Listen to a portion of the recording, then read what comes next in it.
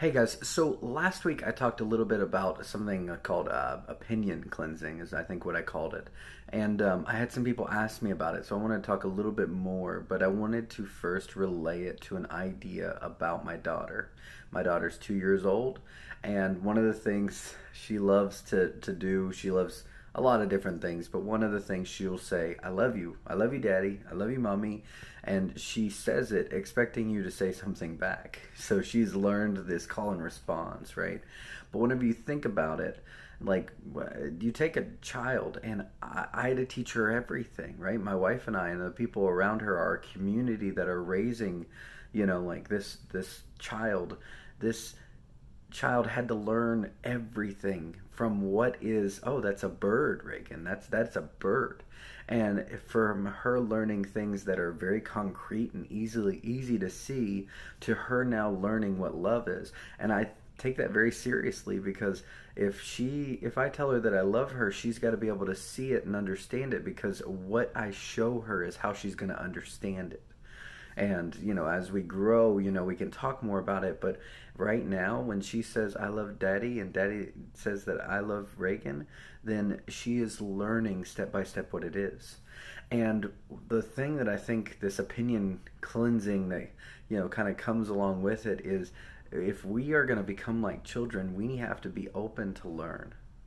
And with that comes the idea that hey i might not have learned it right the first time you know, I might not fully understand things like I thought I did. And just taking that step back away and allowing God to have the final say. You know, in Romans 3, it says, Let God be true and every man a liar. Look, so the things that God said, they're true. And if we don't, we have to stand on that. Like the things that you said are true, God, even though I may not understand it.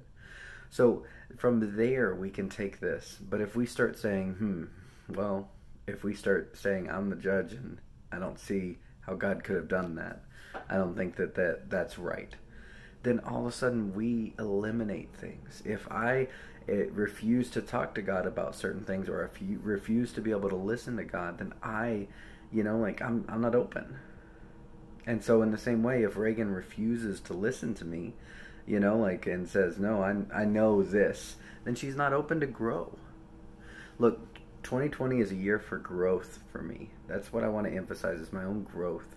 And in order for me to be open to grow, I've got to be open to the things that aren't that I thought maybe were right but but aren't. You know, and none of this is going to go against the word of God like I said before. Um, but I just want to encourage you sometimes we have to open ourselves up to anything that God could tell us. And we align that up to His Word. We're not trying to create all kinds of different interpretations of who God is, but to allow myself to be open to ideas that are not readily mine. That's how we get to our calling. That's how we hear God's voice. That's how we move into another level.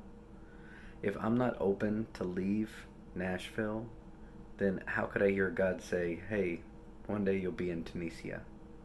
Can't. Again, I'm not open to it. So, that being said, open yourselves up. Thanks for taking a minute.